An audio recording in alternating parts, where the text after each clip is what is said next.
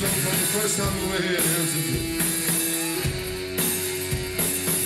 But what about being psychiatrist? Black Sabbath, Black Man.